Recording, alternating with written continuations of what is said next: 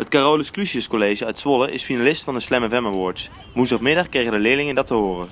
Uh, ja, er kwam wat volk in de aula. En toen hebben ze uh, omgeroepen dat iedereen daarheen moest komen. En toen uh, hebben we dat gehoord. En weet je wie jullie heeft opgegeven daarvoor? Ik heb geen flauw idee. Wat was je eerste reactie? Ik vond het heel leuk. Want vorig jaar heeft Capelle gewonnen in Zwolle. En die hadden echt een super gaaf feest. Dus nu willen wij ook al winnen. En wat maakt jullie nou de beste school van Nederland? We zijn super gezellig.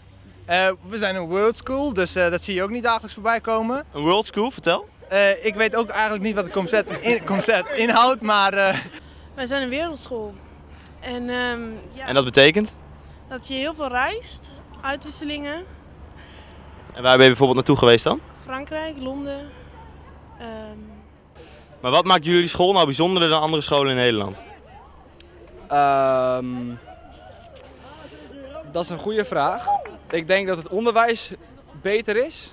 De leerlingen... Ja, dat is gelul man. Dat is gelul, onderwijs. Kom op, doe maar even toffe dingen man. Dan wordt hier elke dag uh, wordt hier een beetje wiet gerookt op het plein, of dat niet? Ja, regelmatig. En wat ik denk dat onze school echt bijzonder maakt, is dat iedereen zich thuis voelt op school. Dat er geen uitzonderingen zijn. Ja, dat was wel een beetje politiek correct.